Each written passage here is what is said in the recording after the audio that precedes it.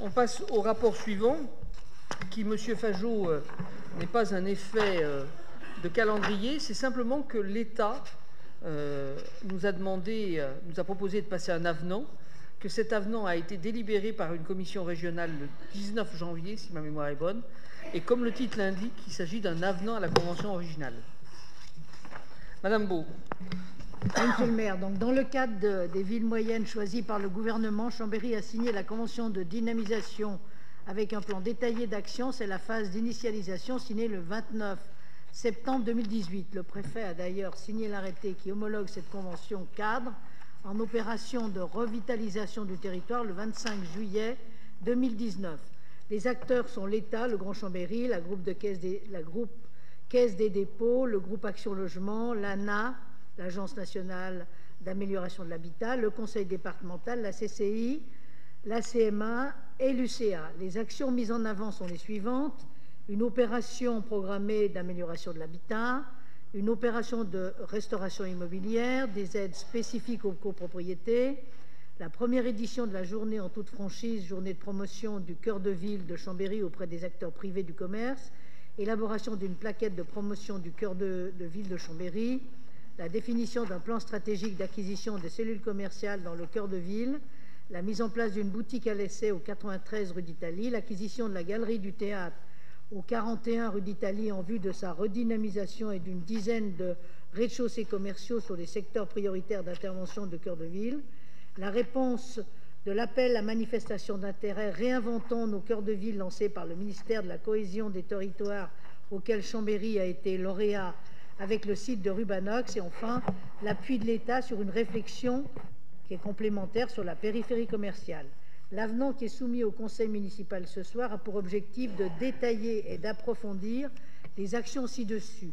Les grandes lignes de l'avenant sont les suivantes détailler les conclusions du diagnostic qui a fait sortir les points que je viens d'indiquer, notamment la situation du centre-ville axe par axe, ainsi que les besoins et opportunités du territoire de rappeler en réponse aux diagnostics existants les enseignements de la phase d'initialisation, la stratégie globale et par axe de développement poursuivie par les deux collectivités Ville de Chambéry et Grand Chambéry, de décrire le projet de redynamisation du cœur de ville élaboré en concertation et en partenariat avec les élus, les acteurs économiques que sont la CCI, la Chambre des métiers, l'Union commerciale de Chambéry en ville et de présenter, afin de présenter le programme d'action devant être engagé avant fin 2022 et être achevé pour 2025. Enfin, troisième point, faire état de la mise en œuvre des actions matures inscrites dans la Convention cadre signée le 29 septembre 2018. De définir les secteurs d'intervention de l'opération de revitalisation des territoires qui, pour la ville de Chambéry, a déjà fait l'objet d'un arrêté préfectoral le 25 juillet 2019. Il est donc demandé au conseil municipal d'approuver l'avenant à la convention cadre pluriannuelle Action Cœur de Ville et d'autoriser le maire ou son représentant à signer les, axes, les actes en conséquence. Merci. Y a-t-il des questions Monsieur Serino Merci, monsieur le maire. Vous dites souvent, quand on dit merci, en savoir, on en demande toujours un peu plus. Et, là, je démarre avec ça. Euh, je regrette vraiment de ne pas avoir eu accès au diagnostic que j'ai demandé dans son ensemble la semaine dernière, et non pas seulement aux quelques pages de diagnostic qui sont présentes dans ce document. Et je pense que un certain nombre de documents beaucoup plus détaillés existent et on ne m'a pas donné accès à, ces documents. Euh, c'est un peu dommage. Je, regrette également qu'un sujet aussi important, aussi important que celui-là, euh, ne fasse pas l'objet euh, d'un conseil municipal ad hoc. en tout cas, n'ait pas pu faire l'objet d'une commission qui permette de travailler sérieusement dessus ensemble. Je rappelle que la commission finance qui traite du budget a eu une demi-heure et que la commission urbanisme était une demi-heure après. Nous, avons, nous sommes restés, M. Perroton, près de deux heures ensemble. Fort sympathique au demeurant, mais ce qui fait que nous n'avons pas pu être présents euh, à la réunion urbanisme euh, qui devait, je l'imagine, traiter de cette question, encore que je ne sais même pas à quelle commission il était inscrit le sujet. Bref, Donc j'ai travaillé à partir des documents que vous nous aviez donnés et qui étaient euh, une synthèse de ce diagnostic, puisque apparemment il y a même des éléments axe par axe, et donc j'aimerais bien les avoir quand même. Donc je, pense que c'est important qu'on puisse disposer de ce diagnostic. Je l'ai demandé euh, au service et je, ne l'ai pas eu. Voilà. Alors, je, pense que c'est important d'avoir ces diagnostics parce que dans votre tableau de 8 pages, on, a déjà des éléments, hein, même si même si c'est un peu succinct, on a quelques éléments qui nous permettent de voir les atouts, les faiblesses, euh, les opportunités de notre territoire. Donc notre, ville a des atouts formidables. Et ça, euh, nous en sommes tous bien conscients, qui sont le fruit d'une position géographique assez exceptionnelle. Hein, on parlait tout à l'heure d'Annecy, euh, la position géographique d'Annecy n'est pas la même. Une position géographique assez exceptionnelle, et puis de politique publique menée depuis de nombreuses années, euh, pour pas dire de nombreuses décennies, et qui ont valorisé ou accompagné ces atouts. Euh, on peut parler, c'est dans le diagnostic, donc je le reprends, importance de l'offre de logements sociaux, population jeune et étudiante, attractivité importante, un patrimoine historique de grande qualité, un développement économique à la bonne échelle euh, avec CGL, euh, une forte université, un label art et histoire, une ville porte des parcs, une halle alimentaire de qualité, des potentialités de développement face à la saturation d'autres espaces, on en parle assez souvent ici, une nouvelle gare qui doit rester, je le précise évidemment, internationale. Ces atouts font de la fierté que nous avons tous ici, je, l'espère j'en suis persuadé, d'être chambériens. Il y a également des faiblesses notables le coût de l'immobilier, les vacances de logement, un quart des foyers sous le seuil de pauvreté, un déficit d'image, un déséquilibre grandissant des activités économiques entre centre et périphérie, idem pour les services au public, un lien entre tourisme et commerce encore trop faible, je cite hein, toujours euh, le diagnostic bien sûr, et puis, euh, une, alors, où est-ce que j'en étais? Je me suis perdu. Voilà. Un affaiblissement des liaisons ferroviaires nationales. Bon. Euh, une cluse de 400 mètres de largeur. Une faible présence de l'eau et du végétal dans l'hypercentre. Difficile de faire la liste de toutes, mais les opportunités d'amélioration sont là. Les marges de progrès sont importantes. Face à ces constats, qui sont dans votre document, il est normal d'élaborer des politiques publiques qui vont chercher à s'appuyer sur les atouts et les opportunités pour limiter les faiblesses ou les combattre. C'est pour cela que je pense qu'il est regrettable que ce dossier arrive aujourd'hui, à la fin de votre mandat, plutôt qu'au début, euh, au moins sur l'aspect diagnostic. Euh, dommage d'avoir attendu le dispositif, dommage peut-être d'avoir attendu le dispositif euh, gouvernemental Action Cœur de Ville pour engager le travail de fond. Car si le diagnostic avait été fait en début de mandat, bien des politiques, malheureusement, que vous avez menées eh n'auraient pas eu lieu ou auraient été différentes. Et ce n'est pas faute, sur beaucoup de dossiers, de vous avoir régulièrement, régulièrement alerté sur le fait, bien souvent, d'avoir mis la charrue avant les bœufs. Je veux ici illustrer mon propos à partir de ce diagnostic que vous nous publiez, donc le diagnostic 2020 je vais prendre quelques éléments de faiblesse. J'ai rappelé un certain nombre d'atouts. Je vais prendre quelques éléments de faiblesse. Une première faiblesse, page 7.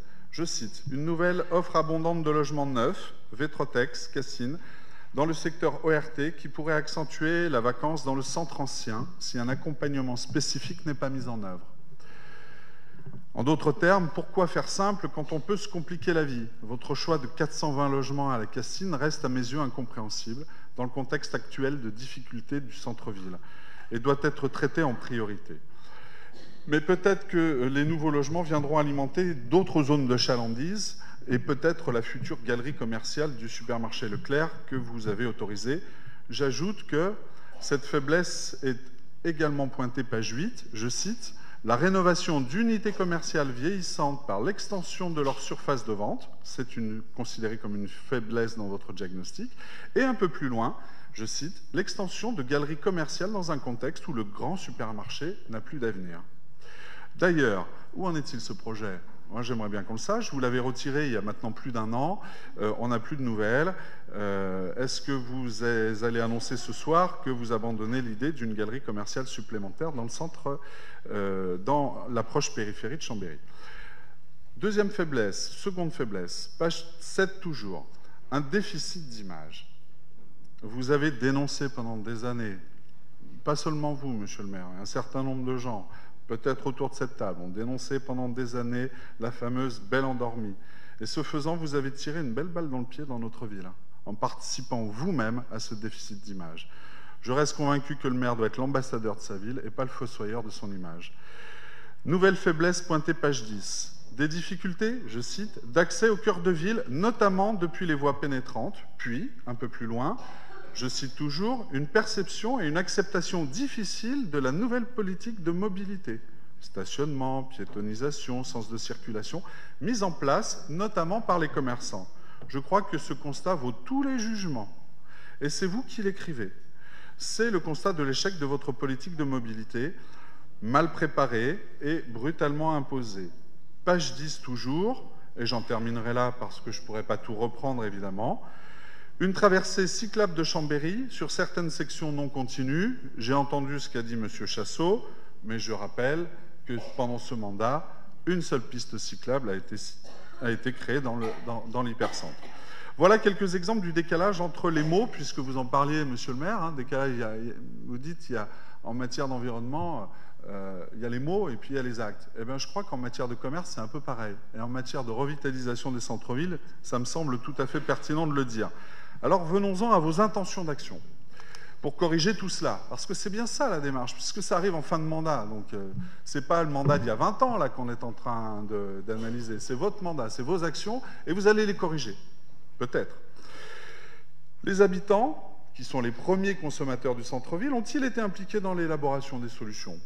Pas à ma connaissance, car j'y aurais volontiers participé comme je l'ai fait pour le plan climat à l'aglo. Où est la réflexion sur l'équilibre nécessaire entre centre et périphérie? Où est l'étude d'impact du nouveau plan de circulation? Où est l'étude d'impact du nouveau réseau de bus après trois ans de mise en place? Nulle part dans ce document produit à un mois de la fin de votre mandat.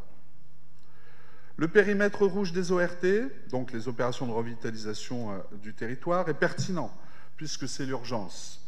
Le jaune l'est peut-être un peu moins dans l'immédiat. On aurait pu concentrer l'action sur l'hypercentre et compléter ensuite avec de nouvelles ORT. dans ce document, il y a aussi un certain nombre de mots que moi, je, n'ai pas compris. Hein. Par exemple, un centre-ville apprenant. Alors, je ne sais pas du tout ce que ça veut dire, mais je compte sur vous, page 16. Hein. Je ne suis pas sûr que le ministre de l'Éducation nationale le comprenne non plus. La stratégie de la ville est illisible, au final, du fait de multiples opérations sous différentes maîtrises d'ouvrage. Une carte aurait été certainement euh, bienvenue et aurait permis d'y voir plus clair euh, dans les responsabilités des uns et des autres. Quels sont les engagements propres à la ville? Quel budget elle souhaite y consacrer, pardon? Bref, où sont les priorités? Un seul grand projet urbain apparaît, l'axe de Boigne. quid de la place Saint-Léger, de la rue Croix d'Or, quid de la rue d'Italie, de la place d'Italie elle-même, quelle liaison entre le parking Ravel centre-ville, quelle articulation entre le nouveau musée et le square de la Noix de Bissy, rue du 6, quel projet d'urbanisme au final? Comme d'habitude, je crains que ce soit encore du coup par coup et pas de vision globale de l'urbanisme de la ville et en particulier du centre-ville. Évidemment, tout n'est pas finançable en trois ans, mais cela n'exonère pas d'une vision globale à faire partager évidemment à nos concitoyens. Sur le parcours marchand proprement dit, on voit bien que depuis dix ans, depuis l'impact du secteur des Halles, des actions de confortement du secteur pourraient être mises en œuvre et pourraient en découler. Quelle articulation avec le boulevard de la Colonne et surtout les liens avec la gare et la rue Sommeillet Bref, rien sur le maintien non plus des services en centre-ville. Ce sujet crucial aurait mérité un conseil municipal totalement consacré à cela. Avec ce document, on reste sur sa fin, une impression globale que les enjeux principaux d'urbanisme au service de la vitalité centrale n'ont pas été cernés et ne sont pas traduits budgétairement. Je n'ai vu dans le BP que 290 000 euros, mais peut-être n'ai-je pas tout vu. Je voterai bien sûr ce rapport, car euh, au fond, il reste euh, tout simplement une tentative un peu tardive de rattraper vos erreurs. Mais quel gâchis et quelle perte de temps depuis six ans. Caraco. Oui, monsieur le maire, euh, je, veux juste revenir sur une des actions dans la liste d'actions et ça fera euh, d'une certaine façon la jonction avec le rapport précédent sur le développement durable. Il est mentionné la mise en œuvre du schéma directeur euh, cyclable, par l'aglo bien sûr, à hauteur de 500 000 euros par an. 500 000 euros par an, il faut juste remettre tout ça en perspective. Vous l'avez dit, c'est sur la durée qu'on se rend compte des choses. Ça fait un schéma directeur cyclable réalisé en 40 ans. Alors c'est un progrès, hein, parce qu'au rythme des années précédentes, c'était plutôt 60 ans. Donc en, indicateur relatif, oui, euh, un gain de 50%, c'est un saut assez remarquable. Mais franchement, est-ce que c'est à la hauteur euh, d'une ville qui s'engage dans une déclaration euh, d'urgence climatique? Si on voulait réaliser dans un délai un peu plus sérieux, disons 10 ans, le schéma directeur cyclable, il faudrait trouver 2 millions d'euros par an, quatre fois plus que ce qui est prévu aujourd'hui.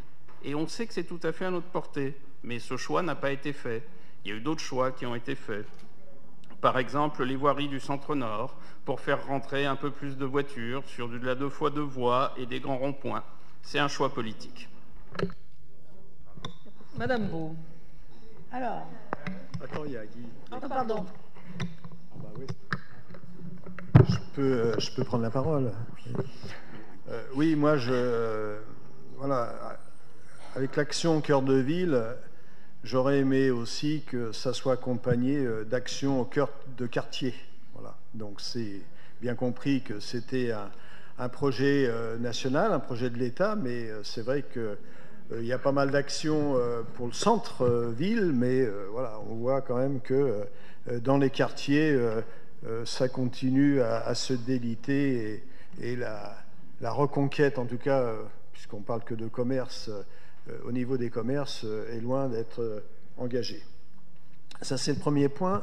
Sur le diagnostic, Bon, alors comme c'est une action de l'État, hein, qui est financée, subventionnée et financée par l'État, et dans le diagnostic, on ne le trouve pas parce que vous l'avez, euh, vous l'avez axé que sur euh, l'aspect euh, municipal, il manque quand même un élément déterminant, et ça l'État ne joue pas le jeu, c'est le pouvoir d'achat des ménages, parce qu'on peut avoir une grande politique d'action au cœur de ville si les habitants, la population, les ménages, je veux dire plus globalement, euh, n'ont pas le pouvoir d'achat, on pourra faire euh, beaucoup, beaucoup de choses. Mais voilà, c'est dans la, dans pérennité de la présence commerciale, hormis les actions hein, sur la diversité que je partage, des commerces en centre-ville, il me semble qu'il y a une action, hélas, la politique gouvernementale, même si elle n'est pas de notre compétence, mais on peut y porter un jugement quand même, euh, ne va pas dans le sens euh,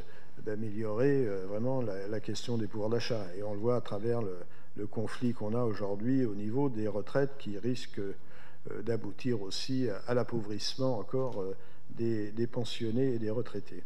Ça, c'est le premier point. Le deuxième point, Jean-Benoît Sereno l'a évoqué, c'est aussi, là c'est plus une action locale, là, hein, c'est le niveau de réseau de bus. Alors, le niveau de réseau de bus, euh, euh, on ne va pas développer plus ce soir hein, sur l'appréciation qu'on peut avoir sur le nouveau de réseau de bus. Mais moi, toujours pareil, sur la question du pouvoir d'achat, sur l'augmentation quand même plus que conséquente des tarifs, des, tarifs des, trajets, des bus. Donc on a quand même une ville assez atypique, hein, avec une ville dans la ville qui est à Chambéry-Loup, quartier que, je connais un petit peu, euh, c'est quand même difficile aussi euh, de pouvoir se déplacer à, des coûts abordables quand on a des familles. Donc c'est, moi il me semble qu'aborder les questions telles que vous les avez abordées, c'est peut-être euh, ce que vous demande l'État, hein, je ne dis pas le contraire, est insuffisante et on fera le, bilan dans quelques années pour voir si vraiment les commerces qui pourront peut-être euh, reprendre un peu vie euh, à travers quelques mesures euh, qui sont préconisées, qui seront mises en œuvre, seront toujours existants dans 2, 3, 4 ans. Et je crains que non. Monsieur. Oui, bonsoir. Euh, donc, pour avoir été pendant euh, six ans à la manœuvre un peu du commerce, donc je me sens un peu concerné. Euh, moi, je voudrais juste rappeler que quand, arrivé, quand je suis arrivé au m'occuper du commerce, au, bureau du commerce, il y avait deux personnes. Donc là, en fin de mandat, on a quand même, on n'a pas attendu Cœur de Ville. Bien entendu que Cœur de Ville est un, dispositif intéressant et qui, qui, qui va amener des, des vraiment de, des changements dans, l'habitat de Chambéry, mais depuis le début du mandat, on a, le, maire a, a suivi là-dessus, on a étoffé euh, le bureau du commerce. Tout porteur de projet qui vient à Chambéry et qui a une proposition est reçu, est aidé dans ses démarches. Euh, maintenant, c'est un bureau où on conseille les gens, où on aide à remplir les papiers. Et je pense que ça, c'est un gros changement sur les, qui n'était pas en place avant. Donc ça veut dire que très tôt, on a pris l'habitude, et on, c'était un, deal qu'on avait, de développer le commerce. Et je pense que maintenant, on voit, on peut, on, se trompe pas.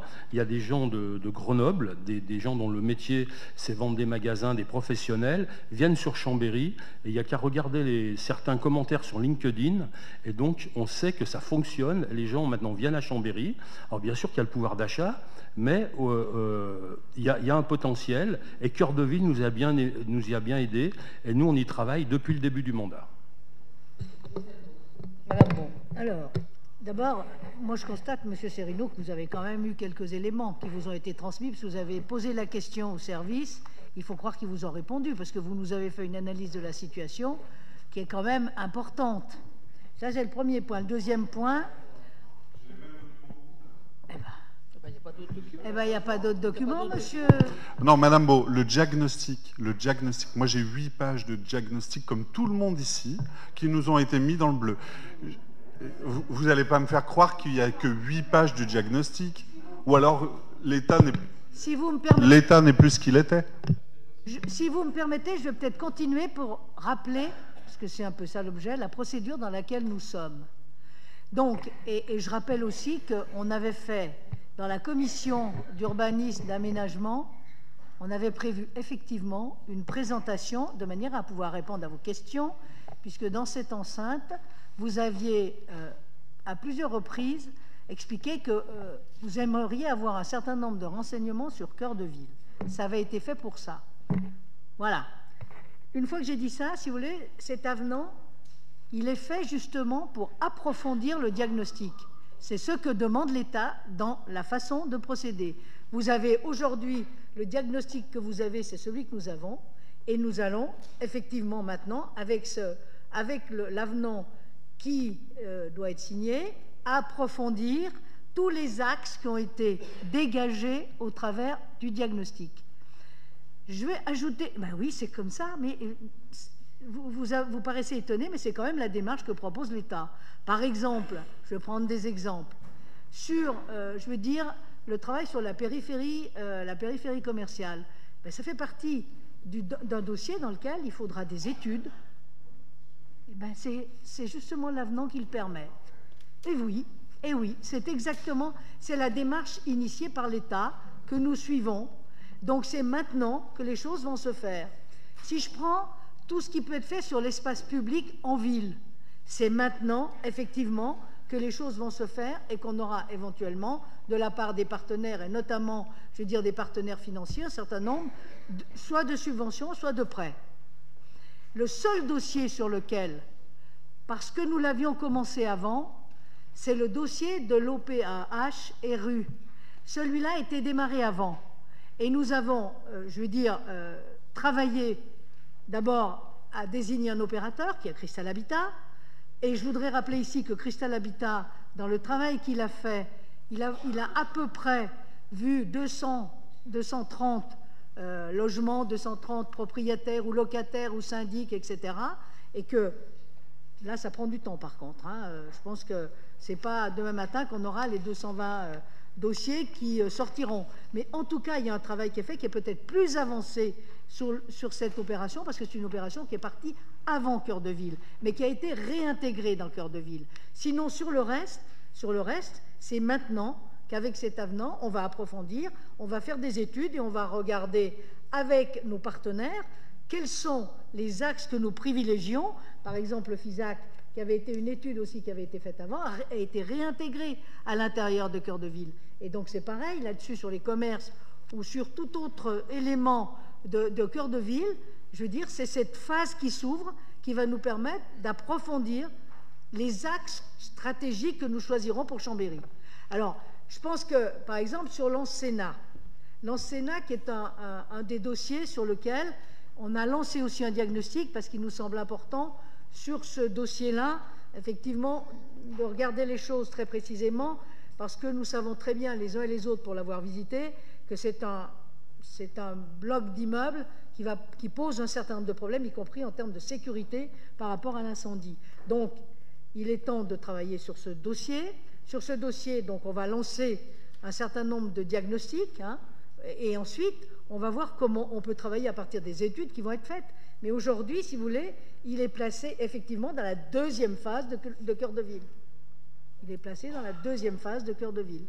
Et il y a des choses qui se feront à partir de là. Voilà. Est-ce que je peux répondre, monsieur le maire, aux questions posées par monsieur Serino Oui, monsieur Dulin. Oui, euh, cher collègue euh, Jean-Benoît Serino, en tant que président de Grand Chambéry Alpes Tourisme, je me sens quand même obligé de, répondre à quelques éléments, notamment sur la stratégie de, marque et sur l'absence le, de euh, le déficit d'image hein, tel que vous avez pointé. pardon? D'accord, d'accord. Mais on peut bien évidemment toujours faire beaucoup mieux. Et l'important, c'est de se mettre euh, en route avec quelques très bons résultats tangibles à la clé en matière d'évaluation. Donc, euh, non pas en fin de mandat, vous, allez le voir sur le, mandat. Alors, c'est vrai que vous n'avez pas la chance d'être membre de Grand Chambéry Alpes Tourisme, mais euh, je vais vous donner quelques indicateurs très précis. en matière de fréquentation touristique, euh, l'hôtellerie, en 5 ans, a progressé de 12 points. De 12 points. Passant de 49 à 50% ce qui est très limite en termes de rentabilité des hôtels, à 62% L'occupation hôtelière, pardon, l'occupation, toute forme d'hébergement confondue sur les périodes de juillet et d'août, c'est-à-dire c'est l'hôtellerie, c'est également les gîtes ce sont les meublés, ce sont les chambres d'hôtes, est à 71%, ce qui nous met sur un score supérieur à la moyenne nationale et au taux d'occupation de Savoie-Mont-Blanc. Pas mal hein, pour des gens qui ont des déficits d'image. Mais je, réponds au diagnostic pour que vous ne restiez pas sur des mauvaises impressions. L'internationalisation de la ville. Aujourd'hui, ce sont 58 nationalités qui fréquentent l'hôtellerie chambérienne régulière. Et le grand international progresse de près de 30%, avec des pays d'ailleurs qu'on n'imaginait pas. Alors, ça s'explique, hein, mais par exemple, vous avez des Australiens, vous avez des Américains. Bon, c'est aussi lié à nos portes d'entrée sur deux aéroports internationaux à côté. Ça, c'est quelques, euh, quelques chiffres sur le tourisme, avec en précisant que un euh, touriste sur quatre est étranger. Hein, ce, qui est, pas mal, et vous avez bien sûr les Italiens, les Hollandais, les Anglais, mais on va bien au-delà. Ensuite, si vous voulez bien regarder les quelques indicateurs euh, qui nous sont euh, communiqués régulièrement, je ne reviens pas sur le prix que euh, Aloïs Chassot a sur le, bureau et qui, en matière de, ville cyclable, nous, nous conforte à la deuxième place, comme quoi c'est vrai qu'on était avant dans ce que vous aviez fait, mais en fin de mandat, pour le coup, c'est aussi un peu grâce à ce que nous avons fait. Vous voyez, donc euh, euh, on n'est pas trop mauvais là-dessus. Je ne veux pas non plus euh, évoquer le, label Citergie, hein, pour lequel on vient de nouveau d'être classé. Bon, bah, comme quoi, comme quoi. Hein, et puis surtout quand c'est des, indicateurs qui sont aussi ceux des usagers. Hein, voilà. Et puis, la ville étudiante. La ville étudiante, deuxième, hein, une fois encore. La ville où il fait bon vivre, hein. euh, la ville la plus attractive, toutes tendances confondues, toutes tendances confondues en France, on arrive à la 21e place. D'accord? Moi, je vous prends aussi euh, deux autres indicateurs. L'indicateur du développement économique. Euh, Josiane Beau aurait pu le dire aussi bien que moi. Quand vous regardez les projets d'investissement que nous avons en matière, matière euh, immobilière ou en matière de développement économique, chaque fois qu'il y a un appel à manifestation d'intérêt, ils sont tous là. Tous là. Il n'y a pas un grand groupe national, voire européen, qui soit absent. Tout cela, sans exception. Alors, il est vrai qu'on s'est donné un petit peu de la peine, puisqu'on a participé au salon de l'immobilier d'entreprise euh, au fil de ces cinq ans, avec un très fort impact sur la dynamique d'image. On peut d'ailleurs constater que cette dynamique, on la retrouve dans le choix des investisseurs qui viennent aujourd'hui prendre des risques pour porter l'économie d'entreprise euh, sur nos quartiers, euh, sur les quartiers de développement économique. Je parle de Chambéry Intramuros, où le développement économique a été multiplié par 5, par 5 en 5 ans. Euh, le nombre d'emplois qu'on a relocalisés intramuros à Chambéry, qui dépasse les 1500. Je voudrais aussi évoquer le pourcentage d'options euh, pour euh, la réservation de la Cassine, où il y aura à la fois de l'environnement, un quartier éco-remarquable, très innovant d'ailleurs en la matière, un quartier où il y aura 420 euh, logements et un quartier où il y aura 100 000 m2 développement, réservé au développement économique. Un quartier où on retrouvera d'ailleurs du maraîchage, 2400 m2 de maraîchage et des jardins partagés. Eh bien, 30% Aujourd'hui, alors que les autorisations d'impact environnemental viennent d'être attribuées par le préfet suite à l'enquête publique, 30% de ce quartier est d'ores et déjà réservé par des investisseurs qui attendent depuis trois ans que ces autorisations puissent être accordées pour pouvoir justement investir. Alors, vous savez, comme on est assez conscient que nous pouvons aller encore plus loin, il y a une grande démarche qui a été euh, lancé sur le positionnement marketing et une étude de marque. C'est un, un, cabinet qui nous accompagne, dans lequel vous savez qu'il y a eu des rendus euh, au fil de ces différentes phases, et nous n'avons absolument pas souhaité boucler cette étude euh, avant les élections pour dire voilà, on l'a fait et voilà la marque du territoire. Non. Parce que nous avons souhaité, avec le maire de Chambéry, que nous prenions le temps d'une étude fouillé pour un juste positionnement entre les différents acteurs du sillon alpin. Un certain nombre d'entre vous ont d'ailleurs participé à ce rendu de la première phase. Le rendu de la phase plus approfondie a été fait au dernier euh, comité de direction de Grand Chambéry Alpes Tourisme la semaine dernière. Et l'étude finale sera rendue en septembre prochain, quels que soient les interlocuteurs qui seront euh, aux affaires. Et pour pouvoir effectivement choisir ce très juste positionnement. Voyez-vous, on a déjà quelques bons résultats et euh, la machine est en route pour continuer. Juste la notoriété digitale de euh, Chambéry. Lorsque nous sommes arrivés, mais c'est aussi lié à l'évolution des outils et des habitudes, il y avait 80 000 followers. Nous sommes aujourd'hui à plus d'un million d'euros ça s'est passé en 5 ans. Un, million de, pardon, de followers, ça s'est passé en 5 ans. J'aurais bien aimé que ce soit un million d'euros, mais encore que la taxe euh, hôtelière, euh, aujourd'hui, est proche de 700 000 euros. 700 000 euros hein, de, ratio de rentabilité. Il faut comparer ce qui est comparable, mais elle a progressé euh, de même nature que le taux de réservation. Vous voyez, c'est vrai qu'on peut encore aller plus loin, mais on a déjà beaucoup gagné et on est loin d'avoir fini. Monsieur Chassot. Oui, euh, pour répondre à, Monsieur euh, Caraco, je ne sais pas si c'est la, fin du mandat, euh, les élections qui, approchent ou votre présence sur une, liste qui vous, motive, mais Monsieur Caraco, diffuser des fausses informations ne vous aidera pas. Vous êtes revenu encore une fois sur la place du vélo et sur le centre nord.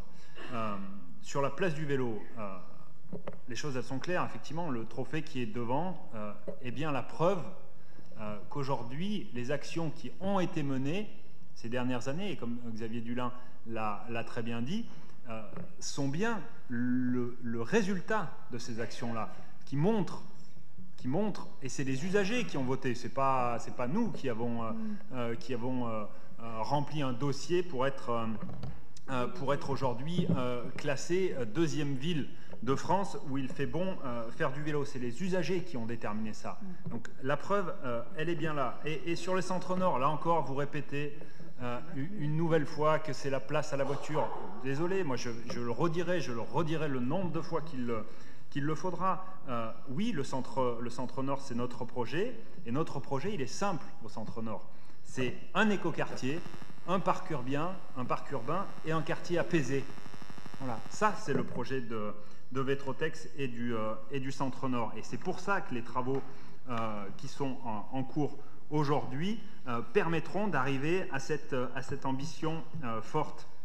Moi, je voudrais juste rappeler, par contre, votre projet. Euh, qui, euh, si vous aviez été élu, aurait été mise en, place. Il faut le rappeler aux, Chambériens euh, et aux, gens qui sont dans la, dans la salle. Votre projet, c'était le pont Gambetta-Cassine pour 20 millions d'euros. Un pont qui aurait ramené les véhicules en centre-ville de Chambéry. Ça, c'était votre projet. Notre projet, effectivement, c'est le centre-nord.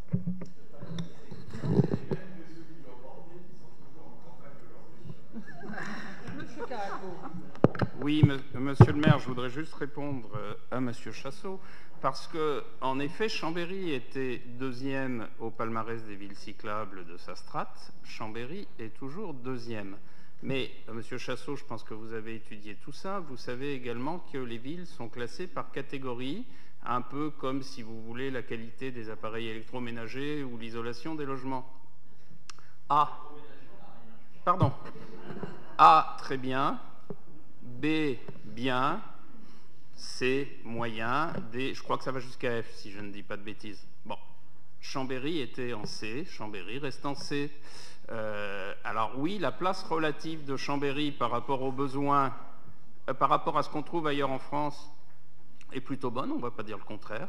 Et c'est l'accumulation, en effet, d'une politique sur la longue durée. Alors, en effet, vous n'avez supprimé aucun aménagement cyclable. Et euh, en revanche, sa place en valeur absolue, il y a beaucoup de progrès à faire, et à la vitesse à laquelle on, y met des moyens, il faudra beaucoup plus de temps que nécessaire. Monsieur Serino, pardon. Habituellement, vous m'appelez Monsieur Chassot, mais pas ce soir. bon, franchement, euh, Monsieur le Président, moi, j'entends vos chiffres, je les ai notés consciencieusement d'ailleurs. Hein. Mais je, vous donne juste un humble conseil, transmettez-les à ceux qui ont fait le diagnostic. Parce que manifestement, ils ne les ont pas, puisque c'est le diagnostic, c'est-à-dire votre écriture, qui dit déficit d'image. Voilà, moi je n'ai fait que reprendre vos documents. Hein. Donc s'il y a des améliorations, moi je m'en réjouis, parce que euh, c'est bien, mais ça n'apparaît pas dans le document maître qui base, qui est la base, euh, soi-disant, de la politique qui va être menée. C'est un peu dommage, c'est certainement une erreur de diagnostic. Monsieur Serino, je pense qu'il faut lire les documents complètement et vous aurez vu qu'on parle, le diagnostic porte sur euh, le cœur de ville. Oui, mais pas sur, sur l'ensemble. Bon. Alors, Monsieur Serino, euh, vous pouvez regretter les actions de l'État. C'est vrai que euh, pendant des années, l'État ne s'est pas occupé des centres-villes et qu'on doit au gouvernement actuel d'avoir mis en place une politique. Le gouvernement actuel, il a été élu en 2017, il a dû mettre ça en place début 2018. Nous nous sommes effectivement inscrits très vite dans cette démarche. Nous avons été retenus, et c'est heureux pour Chambéry. Ce n'est pas une démarche, Monsieur Fajot, qui porte sur le commerce. Ça porte globalement sur le centre-ville. C'est le cœur de ville. Parce que je vous rappelle que, notamment dans les problèmes de cœur de, de, cœur de ville, à Chambéry comme ailleurs, il y a le problème de la euh, baisse démographique d'habitants dans ces immeubles, du fait de trois raisons, le vieillissement de la population, la, division des familles et le moindre nombre d'enfants dans chaque famille, ce qui amène à une baisse de densité qui peut aller jusqu'à 25% sur 30 ans. Donc on essaye bien de traiter l'ensemble de cette problématique. Et d'ailleurs, moi-même, je n'étais pas disponible quand le préfet euh, Michel Blaiseau, qui pilote l'opération Cœur de Ville nationale, est venu à Chambéry. Mais ce qu'on m'en a rapporté, c'est qu'il a jugé que les actions qui étaient engagées à Chambéry étaient plutôt plus pertinentes et, plus engagées que dans la plupart des autres villes de France. Alors, c'est vrai que nous, on a la chance d'avoir un centre ancien, un centre, un cœur de ville qui est assez homogène parce qu'il est marqué par euh, l'histoire. Euh, c'est vrai qu'on ne pourra pas diversifier le type de logement, le type d'habitat dans le centre ancien, puisque le centre ancien est classé. Mais euh, l'État avance à son rythme. Il se trouve qu'il y avait un comité d'agrément des avenants qui était le 19 janvier, je l'ai dit tout à l'heure, 18 ou 19. Le dossier de Chambéry devait être prêt pour passer à cette date-là et le conseil municipal doit délibérer sur l'avenant tel qu'il vient d'être validé par l'État. Voilà le, le calendrier.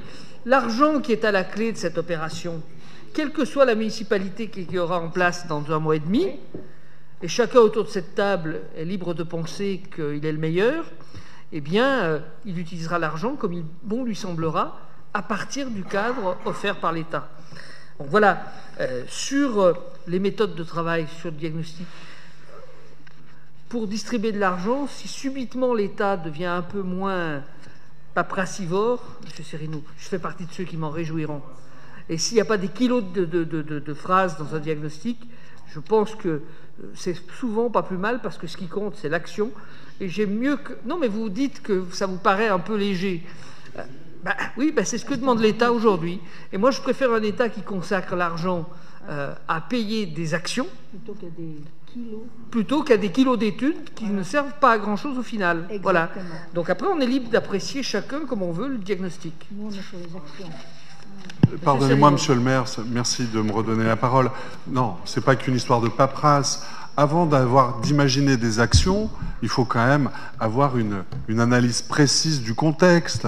Enfin, franchement, sinon on part sur rien, on fait que du vent, et, c'est un peu le problème. Et c'est pour ça que je conseille à nouveau à, Monsieur le Président euh, de l'agglomération de transmettre à ceux qui ont rédigé ces quelques feuillets, eh bien toutes les informations qu'il a, parce que ça donne des éléments.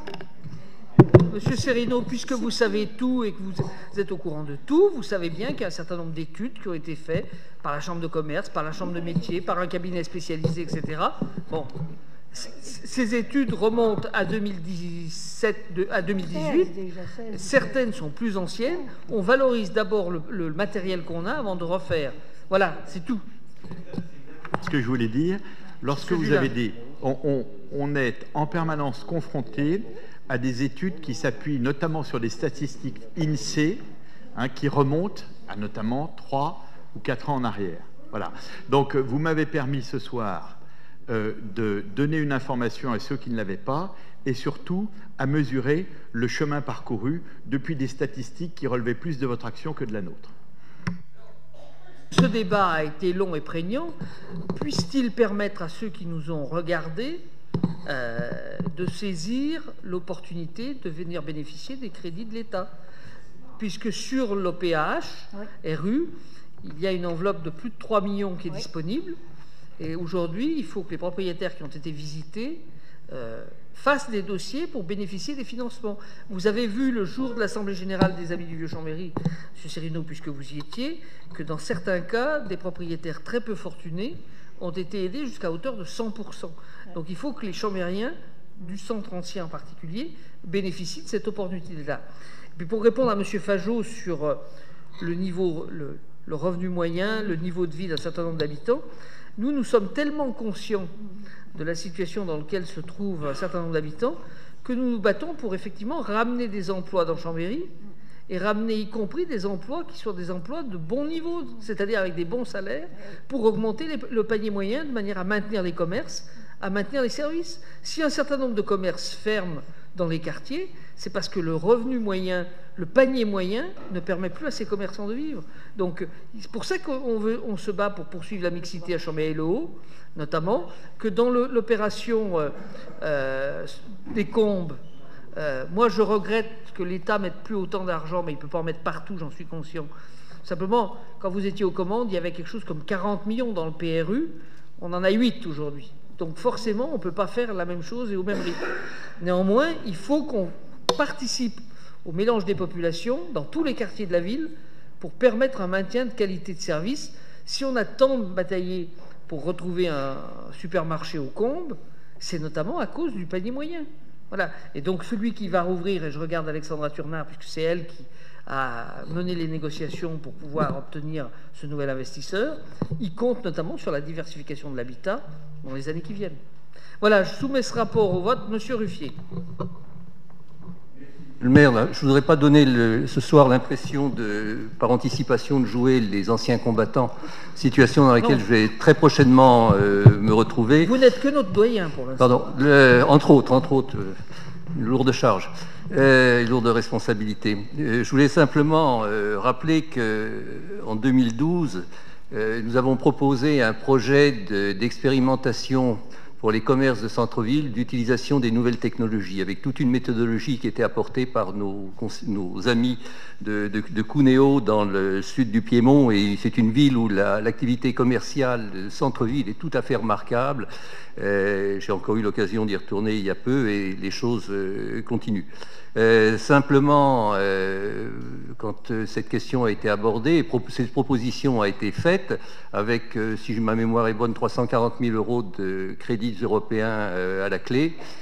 aucun écho, sinon un refus de la part des commerçants et de, la CCI. Bon, Monsieur le Président de Chambéry, enfin de Grand Chambéry maintenant, pardon, je même avant l'arrêt complet, je n'arriverai pas à me faire aux nouvelles appellations. Euh, on ne change pas. Euh, tout cet argent a été euh, investi dans le tourisme. nous y avons fait du bon travail et les améliorations que vous avez pu conduire après ont quand même reposé sur des bases qui avaient été mises en place. Mais on a quand même pris 2012-2020, huit ans de retard par rapport sur cette, cette question. Et puis je voulais faire remarquer aussi à M. Barr euh, qu'il euh, s'est trouvé, pour euh, des raisons que je regrette, c'était l'état de santé de notre collègue Jackie Garbolino, qui a eu une grosse difficulté pendant une, longue période et qui s'en est miraculeusement sorti, que j'ai eu à le suppléer. mais il y avait peut-être que deux personnes, mais que nous nous sommes battus pour euh, des installations commerciales dans un certain nombre de lieux et que rétrospectivement, je me sens d'ailleurs euh, des responsabilités parce que certaines, nous avons poussé des jeunes à investir de l'argent euh, dans un certain nombre de commerces. Nous les avons poussés, incités, nous avons fait ce que nous avons pu pour aider. Et puis euh, finalement, euh, deux ans ou trois ans après, ils ont dû fermer parce que le commerce, je ne vais pas donner les noms, mais ça se situe pas loin de l'entrée du faubourg Montmélian, commerce a fermé et on se sent rétrospectivement des responsabilités vis-à-vis de ce que l'on a incité. Voilà, c'est simplement ces deux faits que je voulais rappeler. J'aurais plus guère l'occasion d'intervenir sur ces sujets dans l'avenir. Vous avez, Monsieur Ruffier, vous avez raison. Et, tout à l'heure, je crois que c'est euh, Monsieur Serino qui a dit que euh, les Halles avaient modifié la cartographie du centre-ville. Euh, si nous sommes en négociation pour racheter la galerie du Mont Blanc, en particulier, c'est avec l'espoir de pouvoir remettre quelque chose qui soit un peu dynamique, un peu moteur, pour ramener de la, de l'activité dans ce secteur-là. Il est clair que rue Croix d'Or, la seule réouverture du bureau de tabac journaux a déjà changé la physionomie et on a divisé par deux le nombre de commerces qui étaient fermés en, un peu plus d'une année.